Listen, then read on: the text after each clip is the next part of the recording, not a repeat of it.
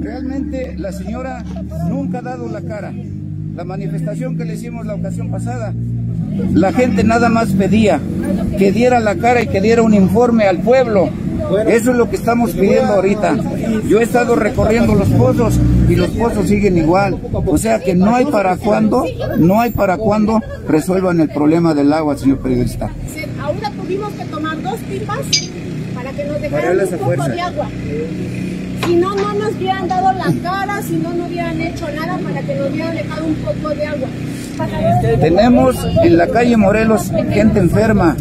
Tenemos aquí en la 16 de septiembre, parte de arriba, calle enferma. Ahorita el personal detuvo una pipa y solamente así nos mandaron dos. Ahora, aquí un problema, y va para usted, señor director.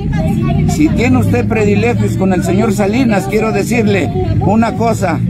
Primero está la gente y después el señor. Aquí está el señor Sergio dando la cara, el secretario particular de la señora Marisol. Se cumplieron los 100 días, señor, y no tenemos solución de su programa de trabajo. Así que el pueblo va a responder. Y hay una frase muy célebre, el pueblo quita y el pueblo pone. Y queremos la solución inmediata del agua, señora. ¿Cuándo ni estamos jugando, director? Usted no da la cara, el único que está dando la cara es el señor Sergio y usted como director debe estar hablando aquí con la gente. ¿Qué es lo que le pasa, director? Por eso quitaron a Sandoval, para que usted llegara a resolver el problema. ¿Y qué problema ha resuelto? Señora Marisol, dé la cara, dé la cara. El pueblo, cuando andaban pidiendo el voto, casi les lambía la mano.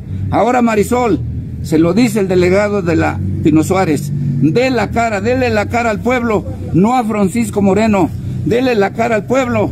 Se vencieron los 100 días. ¿Y dónde está su programa de gobierno? ¿Por qué se pone a levantar calles que no se justifican cuando la prioridad es el agua, señora? No, y yo pienso que no tenemos necesidad de estar pagando una pipa si quiere que se les pague el agua en la presidencia. Y, y mucha gente va a pagar los servicios que no tienen en su. Otra cosa, el pueblo no está de acuerdo en que la presidenta que quieran meter Casim. Porque imagínense, vamos a- nos va a salir ahora sí que más caro el caldo que las albóndigas, pues no se vale si cuántos años nos han tenido sufriendo toda la vida de líquido.